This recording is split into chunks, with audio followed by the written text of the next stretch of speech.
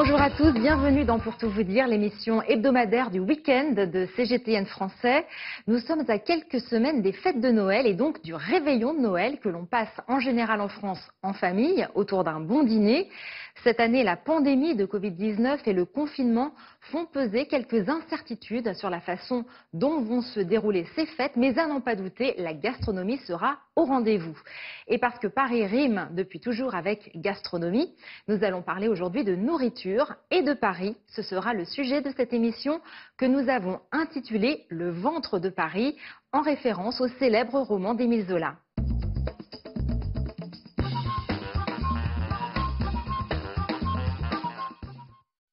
Pour nous faire saliver à propos de bons produits et de cuisine savoureuse, je serai en compagnie de deux professionnels de la gastronomie, Stéphane Layani, qui dirige le marché de Ringis, le plus grand marché de produits frais d'Europe, et Gilles Pudlowski, emblématique critique gastronomique.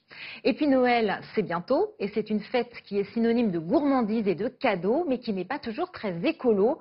Nous recevrons dans la deuxième partie de cette émission la blogueuse Bénédicte Maleki, qui viendra nous présenter ses recettes et ses astuces pour célébrer Noël, tout en préservant sa santé et l'environnement. Stéphane Layani, vous êtes un haut fonctionnaire, ancien élève de l'ENA, et vous avez occupé dans votre carrière plusieurs postes, euh, notamment à Bercy. Euh, depuis 2012, vous dirigez la CEMARIS, la société qui gère le marché d'intérêt national de euh, qui constitue le marché central de Paris, destiné à alimenter les professionnels de toute la région, et qui est aussi le plus grand marché de produits agricoles du monde. Gilles Pudlowski, vous êtes un journaliste, un grand reporter, un écrivain voyageur et vous avez parcouru euh, une bonne partie de la France et du monde pour euh, goûter des plats et écrire sur la gastronomie euh, dans la lignée des grands noms des écrivains gastronomiques français, des voyages qui vous ont conduit notamment en Chine. Votre guide, le Pudlo, qui paraît chaque année, a fêté récemment ses 30 ans et c'est aujourd'hui un outil indispensable pour se repérer sans erreur dans la capitale de la bonne chère qu'est Paris. Alors, Paris et la gastronomie, euh, c'est une histoire d'amour qui ne remonte pas à hier. Paris est une ville qui a, euh, depuis le début, connu une abondance alimentaire et qui est devenue une référence en matière de cuisine dans le monde entier, euh, grâce à l'affluence des denrées, grâce aussi à la création des restaurants à Paris assez tôt et la création aussi de la gastronomie. comment s'est construite cette réputation de Paris? Moi, je dirais que le, grand siècle des, restaurants parisiens, ça a été vraiment le 19e. Au 18e, on commence à avoir beaucoup de restaurants importants à Paris. Euh, c'est vraiment Paris est une ville aristocratique, c'est la ville des rois de France, et il y a une cour autour qui adore manger. On mange chez soi, on mange au palais, et les restaurants vont se développer avec euh, tous les courtisans des rois euh, qui vont faire, par exemple, du palais royal une mine d'or de restaurants qui vont de peu à peu se développer. Le premier critique gastronomique de l'histoire qui sera euh, connu sous la Révolution sera Grimaud de la Reynière. Et puis, euh, avec lui, il y aura tous ces restaurants qui vont devenir à la mode, avec de, très bons produits qu'on connaîtra, avec euh, l'épicerie euh, célèbre de Paul Corsali, mais je dirais que Paris est devenue une ville de restaurants qui sont les phares du monde entier. Les restaurants qui aujourd'hui n'existent plus, comme La Rue, mais d'autres qui existent, comme Le Véfour, qui existe toujours au Palais Royal, ou euh, Maxime's, qui existe toujours, La Tour d'Argent, où on coupe toujours le canard, on fait pas du canard laqué, mais on fait du canard au sang. Voilà. Et je dirais qu'aujourd'hui, Paris reste la référence indispensable euh, de la grande gastronomie, qui n'est pas seulement d'ailleurs celle des produits euh, et des décors, mais aussi celle de l'art de vivre à table. C'est-à-dire que le service, la découpe justement des, des boissons, des viandes, ça s'est fait en quelque sorte à Paris, et c'est devenu en quelque sorte la référence du monde entier. Il a raison. Il n'y a eu que des étapes qui ont fait que la gastronomie française a rayonné. D'abord les rois les rois France ont, guerroyé. Donc ils ont été en Italie, ils ont été euh, en Espagne, ils ont été en Russie. Et on a rapporté plein de plats européens qui fait que la gastronomie française est la gastronomie la plus internationale du monde. On a par exemple le veau Orloff, euh, le bœuf Rossini, toutes ces inventions qui sont des inventions qui sont internationales. Et tout ça convergeait à Paris. Et ça a convergé à Paris. Et alors, il s'est passé quelque chose d'incroyable, c'est que, en fait, on ne mangeait pas de la même manière au XVIIe siècle. Au XVIIe siècle, on mettait un petit peu d'ailleurs comme en Chine, tous les plats à table, on les présentait, et on s'amusait à piquer, etc. Et un jour, ça a changé. Et ça a changé, on s'est mis à manger à la russe. Et le déjeuner traditionnel français, c'est un déjeuner à la russe, avec une entrée, un entremets, un plat de poisson, un entremets, un plat de viande, un entremets, un plat de... Et donc là, ça a été une révolution.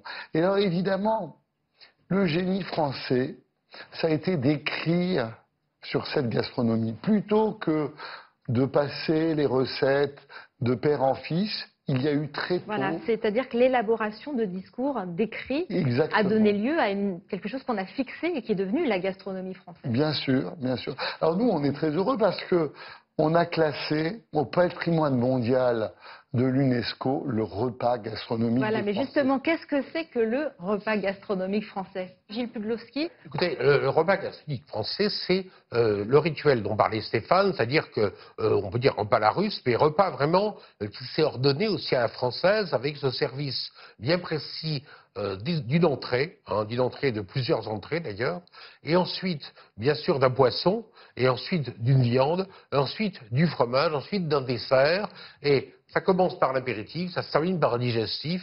Il y a un service de vin, de vin blanc, vin rouge, vin doux, ou si vous avez un foie gras, un vin euh, de type Grenoble, c'est-à-dire euh, sauterne ou autre, euh, avec pas donc un ordonnancement extrêmement précis. Et ce repas gastronomique, qui peut être, qui n'est pas le repas des familles, hein, qui peut être un repas historique, mais est devenu un rituel, une liturgie. On peut dire qu'il y a en France une espèce de religion de la cuisine. Et dans les familles, on s'est amusé à faire des plats de partage, comme la choucroute, la blanquette, euh, le cassoulet, des grands plats qui permettaient de justement, non pas d'abréger le, repas, mais simplement de diminuer le nombre de, de, plats et de faire un grand plat que tout le monde se partage, avec toujours quand même une entrée, et ensuite un plat que tout le monde se partage et c'est le repas d'une dimanche. Et en quelque sorte, je dirais que le repas gastronomique des Français, quand on regarde bien ce qu'on a fait l'UNESCO, c'est ce repas de célébration qui est vraiment classé, qui fait que ce repas est différent des autres repas. Voilà. Alors, moi, je vais raconter une autre histoire, évidemment. En fait, euh, d'habitude, on fait classer des monuments. Mhm. On a voulu faire classer un monument immatériel qui est le repas gastronomique. Il y a d'autres gastronomies d'ailleurs qui figurent hein, sur ce. Oui, depuis, depuis l'inscription de 2010, il y a d'autres gastronomies, vous avez raison Jade. Et en fait, c'est très intéressant parce que Ringis a décidé, en contrepartie de l'immatérialité de ce classement, de construire une cité de la gastronomie. Ah, mais on allait en parler. Mais euh, tout d'abord, je reviens sur euh, euh, ce qui nous a amené à, à, vous inviter en tant que directeur du marché de Rungis. C'est le terme du ventre de Paris que vous avez évoqué tout à l'heure et qui est un terme qui fait référence au, au livre d'Émile Zola, très connu, dont l'action se déroule dans les Halles de Paris, qui étaient autrefois le plus grand marché de la capitale. Les Halles sont dépeintes euh, dans ce roman euh, comme un lieu d'abondance où tout tourne autour de la nourriture et c'est aussi un peu comme cela qu'on peut euh, décrire Ringis aujourd'hui. Ringis, c'est l'héritier des Halles de Paris. Les Halles de Paris. Depuis les années 70, je crois. Voilà, on a déménagé en 69, exactement. Mais moi, quand j'étais petit, j'ai connu les Halles de Paris et nous en sommes l'héritier. Ça a été créé par un empereur qui s'appelait Napoléon III. Il a demandé à un architecte qui s'appelait Victor Baltard, il avait vécu en Angleterre, de faire des halles qui soient des parapluies d'acier et de verre. Et donc pendant plus d'un siècle, ça a fourmillé, ça allait dans tous les sens, et un jour, on s'était aperçu que ça n'était pas compatible avec une ville comme Paris, qui est une grande ville, une agglomération de 10 millions d'habitants. Et donc, évidemment, on a trouvé le moyen de le mettre un petit peu en dehors de Paris. À on 7 s'est installé à Rungis. Mhm. Et donc, on est venu avec nos traditions, nos bons produits, tout ce qui fait la technique et l'innovation française pour faire un outil extraordinaire. C'est pour ça qu'on essaye d'en faire profiter nos collègues du monde entier, notamment chinois, Oui, vous avez donc ouvert des, euh, des Rungis Bien en sûr. Chine, à Shanghai, pour À commencer, Shanghai, à dans d'autres villes. Et on, on est ouvert. On a aidé Guiyang aussi. Moi, je rêve de faire une quinzaine de marchés dans la Chine d'aujourd'hui. Le message est passé, je pense. Et Paris et sa gastronomie ne seraient rien sans euh, les restaurants parisiens. On en a un petit peu parlé tout à l'heure. Gilles Pudlowski, vous les connaissez par cœur, vous les connaissez tous, vous les avez. euh, ça- Oui, et puis et vous en Paris, parlez Ben, C'est beaucoup. une, euh, comment dire, on dirait un puzzle. Paris, c'est un peu euh, la ville des restaurants par excellence, et vous avez surtout une diversité très grande. Vous avez aussi bien de petits bistrots de rien du tout, dans lesquels on mange un plat du jour. Vous avez le très grand restaurant avec un service euh, guindé, euh, euh, très euh, décoratif. Et puis vous avez aussi, euh, comment dire, encore des restaurants avec des patrons, un vrai patron qui arrive avec une serviette qui vous demande ce que vous voulez manger. Et ça peut être aussi les annexes des grands restaurants qui devient, j'ai dit, ce qui revient à la mode en quelque sorte, c'est le bistrot. Tous ces grands chefs que nous connaissons, comme Alain Ducasse, comme Jean-François Piège, euh, comme Éric Fréchot et d'autres, ont tous aujourd'hui des bistrots. Et qu'est-ce qu'on mange dans les bistrots? On mange des saucisses pommes purées, on mange de la banquette de veau, on mange des choses qui, sont, qui nous rappellent en quelque sorte l'enfance, des choses que l'on faisait autrefois. Mais comme les gens ont moins de temps qu'avant de faire la cuisine chez eux, eh on vient manger aujourd'hui cette cuisine sage, bourgeoise, familiale, maternelle, au restaurant, avec des, euh, comment dire, un bon vin qui va avec, parce que la- le vin, c'est important également. Donc, à, Paris, vous avez ça. Vous avez également, euh, avec les gens qui achètent d'ailleurs leurs produits à Rungis, vous avez des poissonniers formidables, vous avez des pâtissiers extraordinaires, vous avez des boulangers de grand talent, vous avez des pâtissiers, enfin, vous avez des, artistes pâtissiers, j'allais dire. Et, et je crois que c'est la gastronomie, si on dit que la gastronomie est un art, c'est parce que justement, il y a des gens qui vous font des compositions sur l'assiette, regardez Instagram, euh, qui sont euh, des œuvres d'art, hein, du Mondrian, du, du, du Matisse. Alors Voilà. vous avez écrit tous les deux un, un petit ouvrage sur les bonnes tables de Paris. Dame de Euh, Stéphane et Gilles. Et voilà. C'est euh, les bonnes tables de Stéphane et Gilles. Ce Qu'est-ce pas qu'il y a dans cette, de ce petit c'est guide un choix d'amis. On y retrouve les meilleures tables parisiennes, les bistrotières, parce qu'effectivement, on aime les plats canailles, on rigole avec un bon verre de vin. L'andouillette, Voilà, les abats. exactement. Et puis, on a toutes sortes de solutions à manger parce qu'il y a toute une jeune gastronomie à Paris qui vient du monde entier, qui vient aussi des terroirs parce qu'on a les meilleurs produits. Et donc, on se régale. Et on a voulu, si tu me permets, de, compléter ce que tu dis, parce que ce que dit Stéphane, c'est exactement ça. On a voulu faire un livre, un guide, un vademecum pour nos amis. Voilà les tables où on voudrait vous emmener. Justement, ça m'amène vers ma transition. Donc cette année, avec euh, l'épidémie que, que nous avons connue et que nous connaissons encore, euh, la fermeture des restaurants a rendu euh, obligatoire le, le fait de cuisiner à la maison, ou du moins à pousser les gens à davantage euh, se préparer eux-mêmes euh, euh, leurs plats.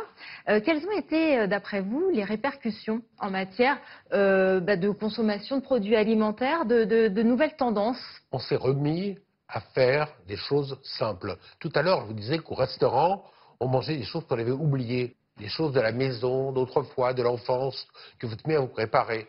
Eh bien, on s'est mis à les faire de nouveau. Une, une dorade, par exemple, que vous mettez au four avec un peu d'huile d'olive, de l'herbe, de la tomate, un peu d'ail haché, c'est délicieux. Et vous... C'est quelque chose que vous avez pu observer euh, D'abord, on, on- on sert les restaurants, donc on est très triste pour les restaurants qui sont fermés pendant cette période, mais ce n'est qu'un moment et le gouvernement les aide. Mais ce qu'on a observé, c'est que ce qui ne se mange pas au restaurant se mange ailleurs, donc les volumes n'ont pas diminué, Les gens n'ont pas arrêté de manger. n'ont pas arrêté de manger, ils cuisinent énormément. Voilà. Et il y a un engouement extraordinaire pour ce qu'on appelle le click and collect, c'est-à-dire vous commandez un repas à un restaurateur et je passe un appel aux Français qui regardent cette émission, vous demandez au restaurateur de vous apporter euh, des produits cuisiner chez vous et vous allez vous régaler. Mais bien sûr, on s'est tous mis à cuisiner. Moi, je fais énormément de soupe en ce moment. C'est la période du petit marron. Alors moi, je donne ma recette. Vous épluchez votre courge, votre petit marron et vous y ajoutez des châtaignes. Et quand vous faites votre soupe, elle est délicieuse. Je confirme. Alors la France a connu euh, un deuxième épisode de confinement en novembre, après les deux mois du printemps, et il pèse une incertitude sur la possibilité de passer les fêtes de Noël en famille. Face à cette situation, nous nous sommes rendus dans les rues de Paris pour demander aux Parisiens comment ils voient Noël cette année. Rénové il y a quelques années, le quartier des Halles est l'un des plus animés de Paris et l'une des zones les plus riches en commerce de la capitale. Mais en ces temps de confinement, les passants se font rares. On est loin de la frénésie de shopping habituelle à quelques semaines de Noël.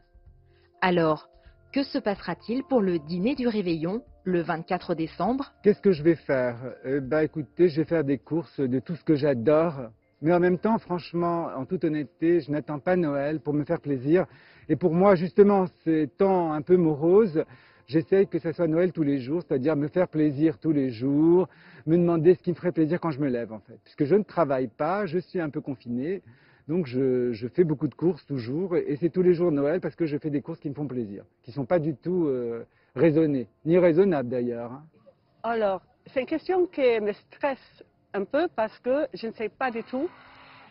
Euh, si j'arrive à louer mon appartement ici, que ce n'est pas euh, évident parce que personne ne veut venir à Paris maintenant. Mais normalement, j'aurais loué mon appartement et aller au Mexique, dans un petit village sur la mer où il n'y a pas de confinement, il y a très peu de Covid. Et je passe euh, le, dîner en mangeant des tacos avec euh, des amis surfeurs. À quelques mètres de là, la rue Montorgueil. Cette rue Marché, où l'on peut toujours voir les façades de certains des plus anciens restaurants de Paris, est une référence pour les gastronomes et un régal pour les yeux. Ici non plus, avec le confinement, l'atmosphère n'est pas vraiment à la fête, mais pas question pour autant de renoncer au réveillon. Je ne sais pas encore si on pourra être, euh, on va dire, en famille au sens large ou sinon en famille au sens euh, plus restrictif, c'est-à-dire mon mari et mes trois enfants, donc tous les cinq. Mais en tout état de cause, euh, en général, nous, on aime beaucoup euh, tout ce qui est fruits de mer. Donc, euh, on va essayer quand même d'être plutôt autour d'une thématique autour de la mer. Et du coup, on essaiera peut-être cette fois-ci de faire notre bûche ou en tout cas un gâteau par nous-mêmes pour, pour ne pas l'acheter, quoi, pour vraiment tester des recettes et faire par nous-mêmes.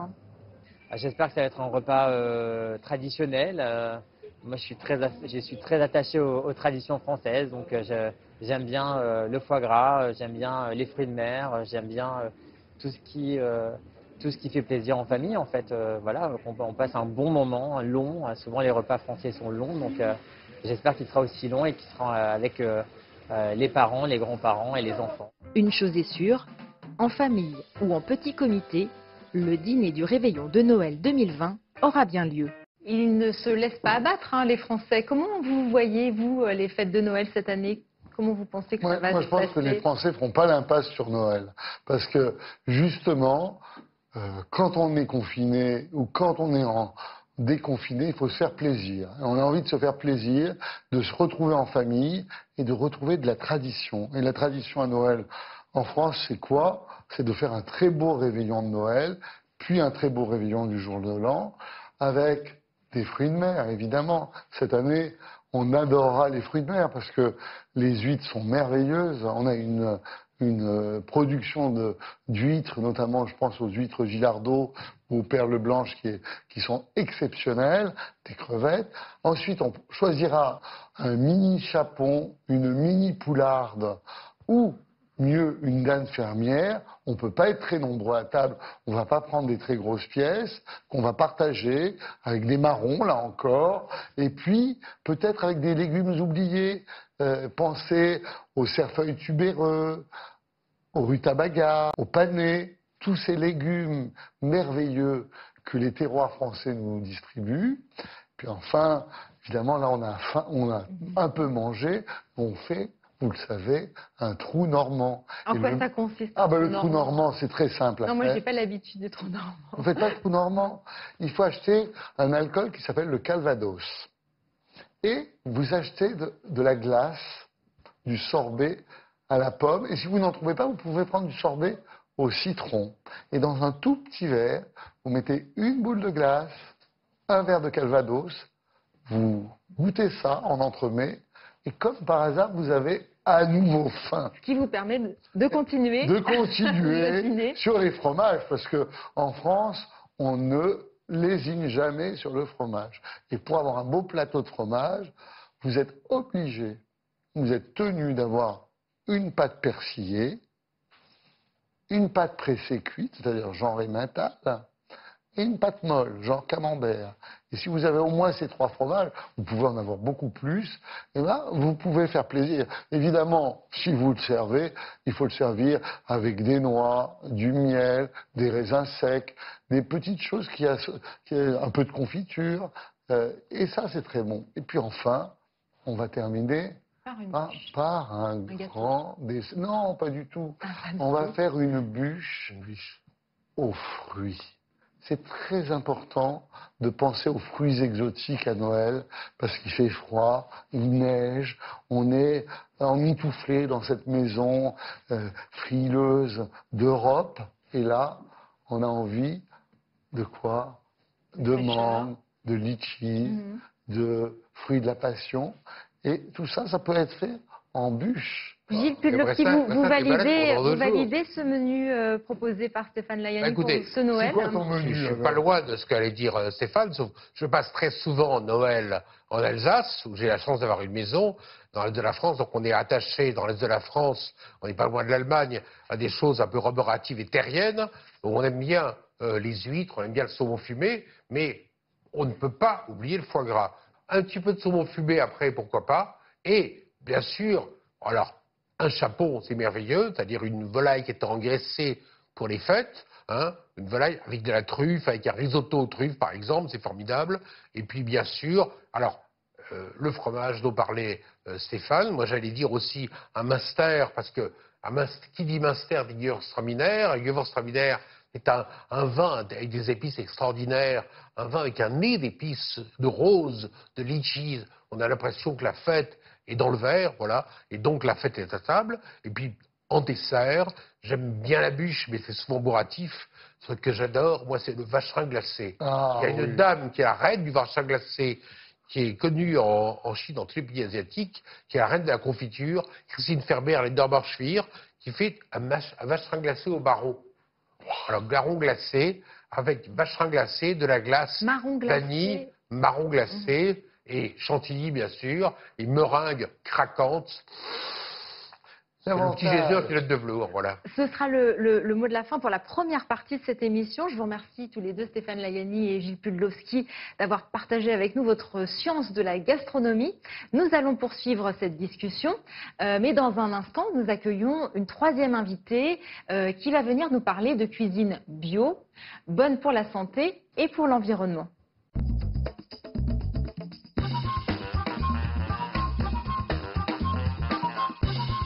Bonjour Bénédicte Maleki, bienvenue dans Pour tout vous dire. Merci, Jade.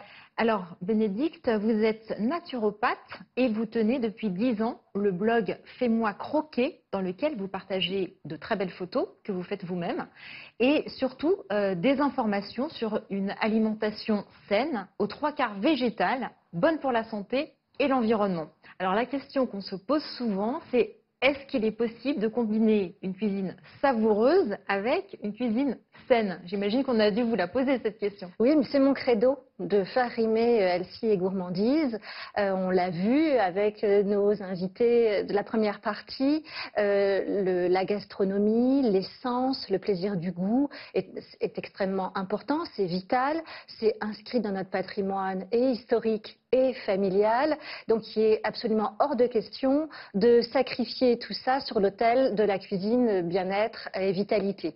Donc, moi, c'est mon pari, justement, de créer des recettes qui vont être bonnes en goût, et qui vont être bonnes pour la santé également, avec les principes de l'équilibre acido-basique euh, que je suis euh, en naturopathie. Ça ne correspond pas tout à fait à la tradition française, mais je serais curieuse de savoir ce que Gilles Pudlowski et Stéphane Layani, vous pensez de cette façon de considérer la gastronomie. Bien, écoutez, je crois qu'on leur non seulement il y a du bien, mais c'est ce que je pratique tous les jours sans m'en rendre compte. Comme M. Jourdain faisait de la prose sans le savoir, euh, nous sommes tous amenés à un temps dans la gastronomie, si on veut euh, atteindre un âge à peu près correct et vénérable, si on peut dire un peu plus que Maradona, et euh, manger sainement, manger. Je dis toujours que le, le sprinter ne court pas comme un marathonien et inversement. Donc moi, je suis un peu marathonien de la, la cuisine. Donc c'est vrai que tout à l'heure, Stéphane a parlé d'un repas pantagruélique et c'est vrai que en l'entendant, j'ai l'impression de prendre des kilos.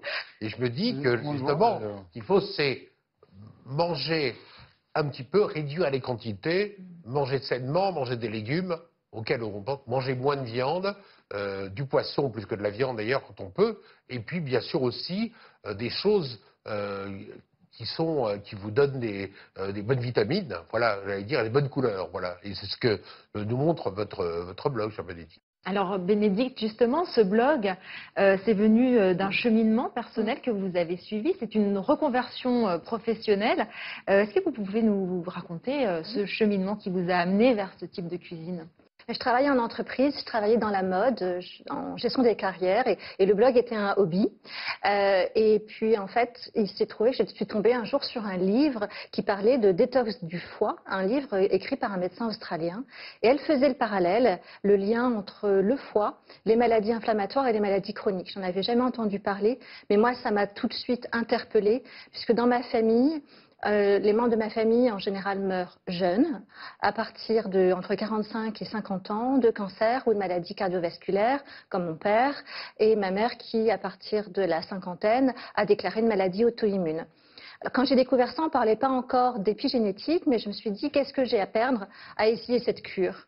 J'ai peut-être pas un patrimoine génétique euh, formidable et si j'essayais d'en- d'enrayer les choses. Et cette cure a été vraiment révélatrice euh, puisque euh, très rapidement, je me suis retrouvée, je n'avais plus de fatigue chronique, j'étais en pleine forme, euh, un super sommeil, une très belle peau et une humeur formidable au point que mes collègues venaient me voir en me disant tu as changé quelque chose dans ta vie. Parce que vous aviez changé votre alimentation. J'avais changé mon alimentation. Cette cure est un peu longue et elle, elle variait, elle changeait complètement de mes habitudes alimentaires. C'est pas de produits raffinés, donc c'est pas de sucre blanc, pas de farine blanche, pas de produits de salaison, très peu de protéines animales, aucun produit laitier. Euh, il y a même une partie de la cure qui est végane, quasiment végane. Je n'y connaissais rien. Moi, j'avais un blog de pâtisserie, donc j'ai appris, j'ai acheté plein de livres, j'ai suivi plein d'auteurs qui, à l'époque, c'était il y a 6-7 ans, c'était surtout des ouvrages et des blogs anglo-saxons. Et puis, ben, j'ai euh, commencé à me passionner en voyant les bienfaits euh, sur ma santé, sur ma vie. J'avais pas du tout l'intention de revenir en arrière. Donc, j'ai poursuivi dans cette voie. En 2016, j'ai suivi une première formation qui lie la nutrition à l'impact de notre alimentation sur l'environnement et la, la planète, euh, qui s'appelle Acteurs de santé durable. Et puis, avec mon blog qui avait évolué comme mon assiette, on est rapidement venu me chercher en proposant des missions. Et j'ai travaillé pendant un an, donc j'ai créé un statut et j'ai travaillé pendant un an avec un groupe de restauration monégasque pour qui j'ai créé des recettes, formé les équipes en labo, fait du sourcing produit, du merchandising. J'ai adoré cette expérience. Donc du coup, j'ai euh, quitté euh, mon ancienne carrière et c'était donc il y a 2-3 ans, j'ai repris des études en naturopathie. Donc aujourd'hui, je travaille euh, avec des restaurateurs, avec des marques agroalimentaires. Je travaille aussi avec des entreprises pour qui j'anime des webinaires, des ateliers au titre de la qualité de vie au travail sur le bien-être. Comment allier et, et, euh, le bien-être avec la vitalité, l'immunité, euh, garder la forme et le moral en hiver euh, en pleine pandémie, par exemple. Vous travaillez dans ce, que, ce qui vous passionne et vous cherchez à faire partager euh, ces découvertes avec euh, votre communauté. Oui. Alors, euh, puisqu'on parlait de, de Noël et de gastronomie de Noël, qu'est-ce que vous pourriez nous proposer pour Noël?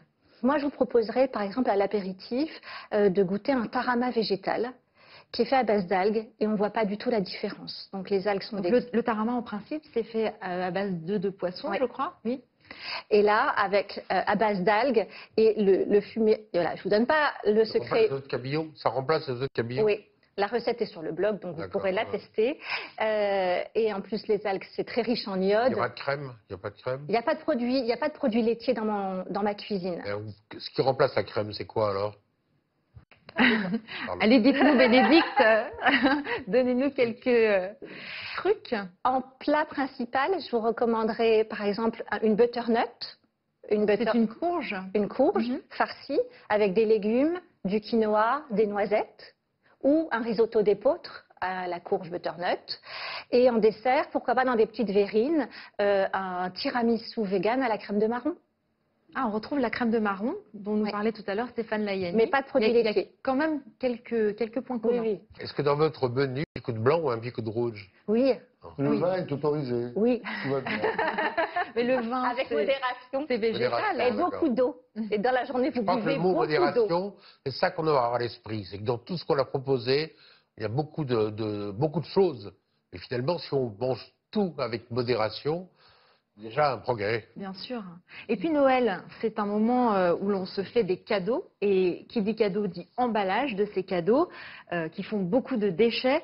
Est-ce que vous pourriez nous donner quelques conseils pour un Noël plus vert et zéro déchet Si c'est possible? Bah, moi, le premier conseil euh, que je peux vous donner, c'est on peut faire ses cadeaux soi-même en faisant des cadeaux gourmands.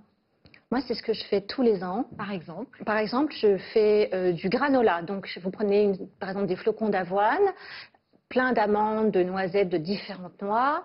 On va y ajouter, du... je vais sucrer avec un- une, purée de fruits, euh, mais je rajoute pas de sucre.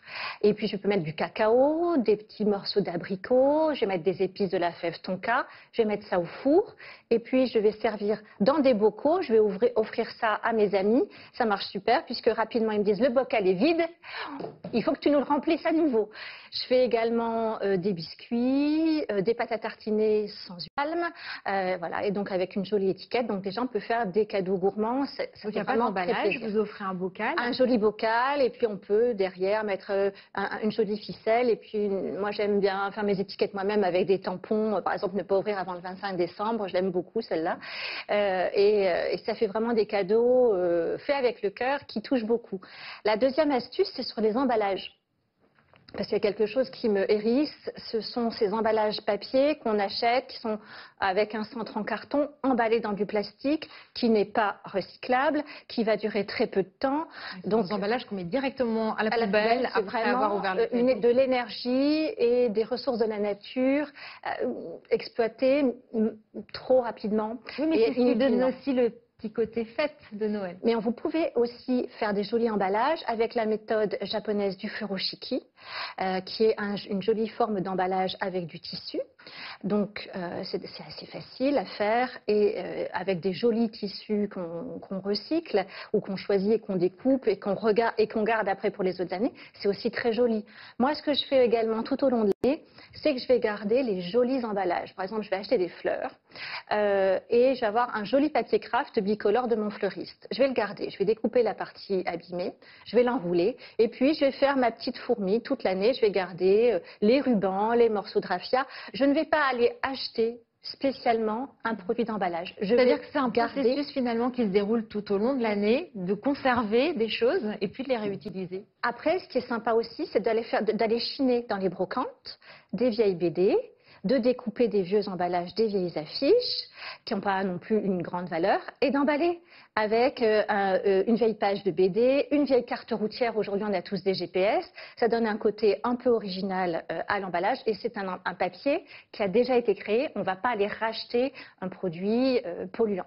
Et puis derrière, eh ben, on peut glisser une petite branche d'eucalyptus, une petite tranche d'orange séchée, une petite branche de sapin dans le ruban, et c'est très chic. Et ça fait un effet festif déco euh, biodégradable. Et en plus, c'est complètement naturel. Je vous remercie Bénédicte Maleki pour euh, ces petites astuces pour Noël. Merci à tous les trois. On attend les cadeaux, hein, Oui. Bénédicte. Une opération maintenant pour les emballer. Votre lettre à la mère Noël. Merci. Merci à tous les trois pour ces échanges très enrichissants et gourmands et pour ces petites astuces pour se régaler tout en préservant l'environnement. Et merci aussi à vous qui nous suivez chaque semaine sur CGTN français et sur les réseaux sociaux. Je vous donne rendez-vous la semaine prochaine pour un nouveau numéro de Pour tout vous dire.